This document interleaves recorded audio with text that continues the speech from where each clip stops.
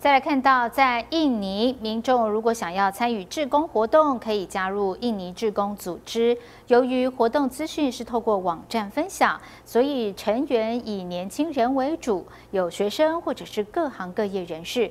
此志工在南雅加达的佛光学校举办了环保宣导活动时，就有二十四位成员参加。实作的过程当中，他们更能够体会环保精神。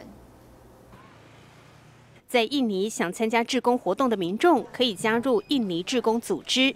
有志一同，慈济在佛光学校举办的环保宣导，有二十四人也来观摩。Pada dasarnya kita ingin menginformasikan kepada mereka bahwasannya kegiatan kali ini bukan hanya kegiatan yang terakhir kali bagi mereka. Dengan informasi seperti itu, kita harapkan mereka dapat terinspirasi dengan kegiatan seci dengan melihat berbagai kegiatan seci dalam buletin dan juga dengan semangat celengan bambu. 珍惜物命，减少垃圾量，还要回收资源，分类再造，清净在源头。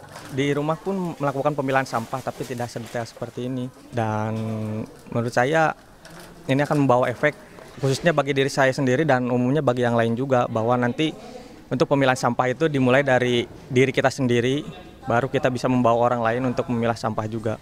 从事网络工程的阿努格拉，希望在工作之余创造生活另一种意义。Kita merendah.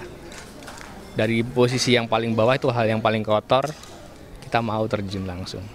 还在攻读公共关系的大学生，在美国曾有徒步捡垃圾的经验。Setiap sampah yang diberikan ke Seci itu biasanya uh, warga sekitar juga membersihkannya atau enggak uh, paling enggak enggak ada baunya gitu. Sama kayak tadi waktu saya pilah-pilah sampah, kok bersih gitu. Paling enggak enggak kayak waktu saya di Bantar Gebang.